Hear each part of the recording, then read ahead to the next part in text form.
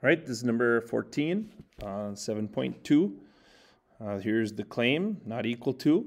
So that goes with the null, uh, but we have equal to should be with uh, the, excuse me, the claim not equal to 7,000 goes with the alternate. Uh, the null then gets the equal sign. There we go. Okay, go to the next one. How do you find the standardized test statistic? Since we uh, probably prefer to use the calculator, I'm going to go ahead and just put the data in for the calculator. So this gets 7,000. Whoops. What happened there? This gets 7,000. This gets 336. This gets 7 4,000, 7,400 and this will get 44. And then we want to click on not equal to, go down to calculate, hit enter. Okay, so there we have some values. Standardized test. I think I must have entered something wrong here.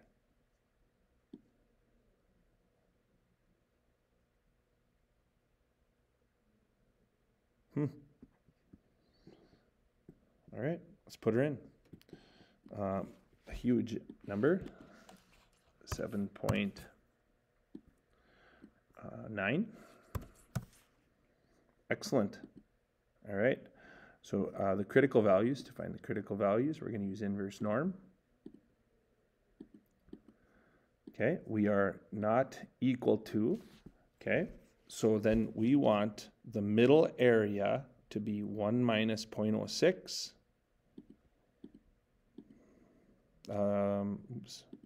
It's a different way to do it with uh, those that have the other calculator I can show you. Go down to center.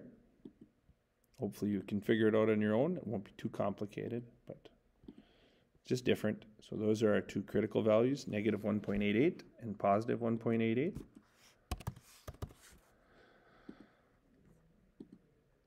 Okay, so is our standardized test statistic outside of negative 1.88 to 1.88? Absolutely it is. We're going to reject, and since our claim is the second one, um, we will support that claim. So we're going to we want to reject. We assumed the null was true, but our data showed that uh, it was clearly not statistically uh, to the level that we wanted it to be.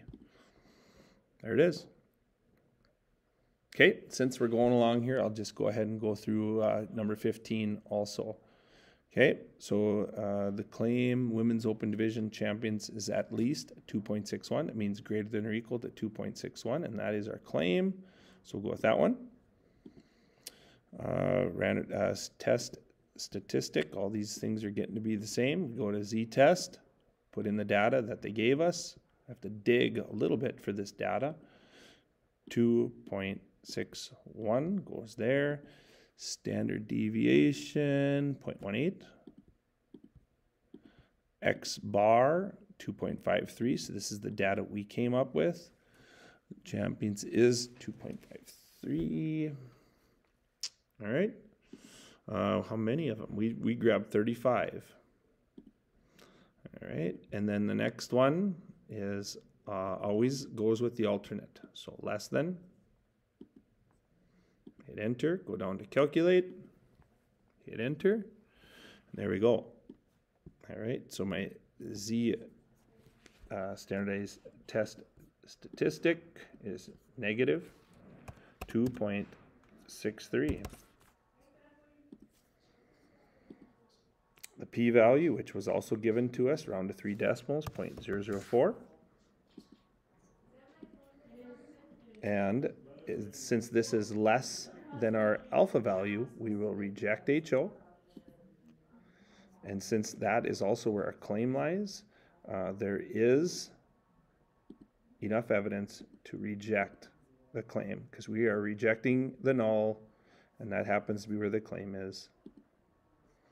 There you go.